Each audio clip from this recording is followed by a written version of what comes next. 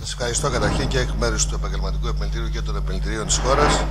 Έχω τη διπλή όντως ιδιότητα. Είμαι και πρόεδρος του Επιμελητηρίου και ασφαλιστής του ιδιωτικού τομέα. Επιτρέψτε όμως να ε, πούμε δύο πράγματα που είναι σημαντικά. Η λύση του ασφαλιστικού, έχουμε πει πολλές φορές, χρειάζεται πολιτική και κοινωνική συνεργασία. Ε, αυτό που έχει αποδειχτεί είναι ότι όσο δεν υπάρχει αυτή, είναι φανερό και από τα θέματα που ακούσαν μέχρι τώρα, δεν πρόκειται να υπάρξει λύση του θέματος. Και βέβαια το δεύτερο που έχουμε προτονίσει πολλές φορές είναι ότι μια λύση του συνταξιοδοτικού, του ασφαλιστικού, χρειάζεται τουλάχιστον πάνω από 10 χρόνια για τη λύση του. Και εξηγώ εντάχει γιατί. Σήμερα ε, χρειάζεται να δίνει ο προπολογισμό 16,5 δισεκατομμύρια μόνο για τις συντάξεις. Από το 2009 μέχρι σήμερα έχουν μειωθεί οι συντάξεις περίπου, όπως λέει το νέο δίκτυο συνταξιούχων, κατά 50 δισεκατομμύρια ευρώ.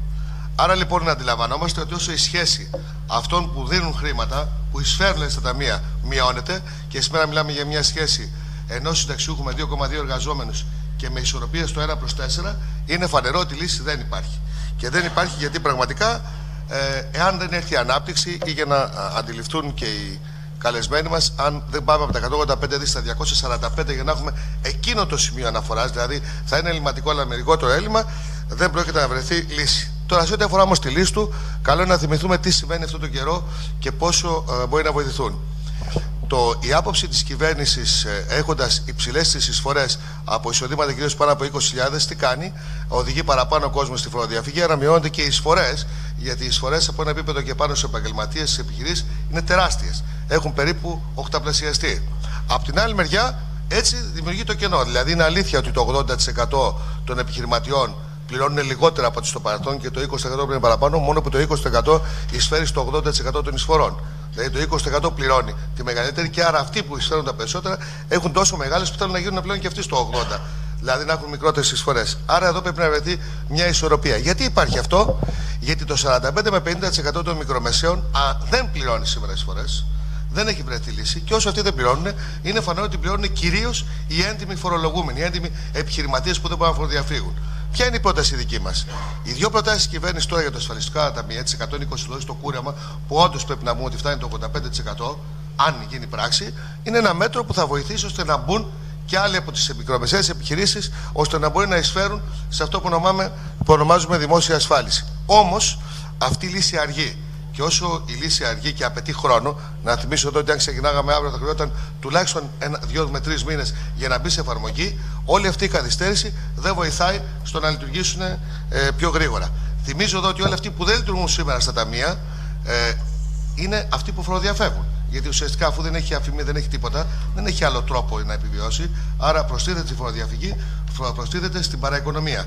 Άρα θέλουμε τη λύση τους. Και βεβαίως το μεγάλο θέμα είναι των 120 δόσεων στην εφορία, το οποίο ο, θέμα από ό,τι φαίνεται δεν έχει συζητηθεί στο Eurogroup. Άρα δεν μπορούμε να συζητάμε για κάτι το οποίο δεν έχει καν ανοίξει ως θέμα. Βεβαίως είμαστε θετικοί και στο πρώτο και στο δεύτερο θέμα, στο να γίνει δηλαδή πράξη, γιατί δεν θα υπάρξει κι άλλος τρόπος για να εισπράξουν τα χρήματα, άρα να συμβάλλουν παραπάνω στο ασφαλιστικό. Τα λέω σου μπορώ πιο γρήγορα. Αυτό, αυτό λοιπόν που θέλω να υπερτονίσω είναι ότι φάνηκε μέχρι τώρα ότι η λύση ε, είναι μακροπρόθεσμη και απαιτεί επενδύσεις. Τι λέμε εμείς, μια πολύ, πολύ γρήγορα που για το δεύτερο πυλώνα. Είναι πολύ καλή πρόταση που άκουσα από τον κύριο Μηταράκη με μια διαφορά. Όσοι είναι σήμερα στο επικουρικό, αν δεν υπάρχει κρατική επιχορήγηση, δεν θα πάρουν ποτέ σύνταξη. Και το λέω σαν ε, και εκφραστή ιδιωτικού τομέα ότι πρέπει να το λάβουμε υπόψη μας. Γιατί υπάρχει ένα τεράστιο κενό. Αφού το σύστημα είναι, δεν είπα, λέω, είναι αναδυναμητικό. Θέλω να κλείσω με το κομμάτι πολύ γρήγορο του, του ιδιωτικού τομέα και οι προηγούμενες κυβερνήσεις και η σημερινή δεν έχουν κάνει το μεγάλο βήμα, είναι ελεκτικό. Η σημερινή κυβέρνηση στην αρχή το είδε. Ε, το είδε λίγο θετικότερα. Μα ήδη στον λεγόμενο ΣΔΙΤ, δηλαδή σύμπραξη δημόσιου ιδιωτικού τομέα, γίνεται στον χώρο της νοσηλείας σε πολύ μεγάλο βαθμό. Σε πάρα πολύ μεγάλο βαθμό, μεγάλο κομμάτι έχει χωρίσει στον ιδιωτικό τομέα.